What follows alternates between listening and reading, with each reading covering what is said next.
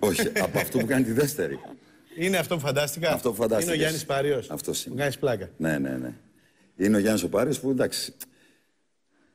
ε, Όταν προσπαθήσει να περιγράψει τον Γιάννη Πάριο, εκτός από το ότι είναι ο τεραστιότερος, ε, είναι και αλλού τεράστιος. Ε, γράφαμε στο ίδιο στούντιο. Ε, στη μια αίθουσα αυτό, στη μια αίθουσα εγώ. Εντάξει, δεν θέλω να σου πω τι γινόταν εκεί μέσα. ε, και κάποια στιγμή ε, γράφω το κομμάτι αυτό στο στούντιο και μπαίνει μέσα. Τι είναι αυτό; Σάντουιτς του το τραγούδι. Ε, του λέει του Λάκα, του, του, λέει- του ηχολήπτη, του λέει Βάλα μικρόφωνο μέσα. Άντες. Ε, δεν, δεν χρειάζεται. να- Ο Γιάννης είναι τόσο σπουδαίος. Τα- ναι, Δεν θέλω να λέω άλλα γι' αυτόν, γιατί θα... μου- δεν θέλει κι αυτός. Εντάξει. ναι.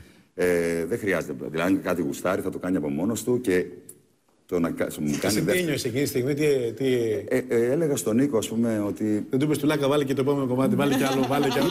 είπε κι άλλο. Α, ναι. Αλλά εντάξει, εγώ αυτό... ναι, είπαμε. Να είναι. Όχι, να, ας το πεις στο δίσκο του το άλλο. Δεν, ε, ε, το θέμα είναι ότι πόσο μεγάλος, πόσο τυπάρα είναι που μετά από όλα αυτά που έχει κάνει μπαίνει να κάνει δεύτερη φωνή. Να σου πω κάτι, έτσι είναι μεγάλη. Γι' αυτό Έτσι και είναι, είναι ναι. μεγάλη, γιατί ξέρουν ποιοι είναι, ξέρουν τι έχουν καταθέσει στην ψυχή τους τόσα χρόνια και το να Και πει να έχουμε- κάνει και δεύτερη έχουμε φορά ένα δουλέψει- τραγούδι που ε, γουστάρει. Έχουμε δουλέψει και μαζί και έχουμε περάσει συγκλονιστικά, έτσι. Θεσσαλονίκη.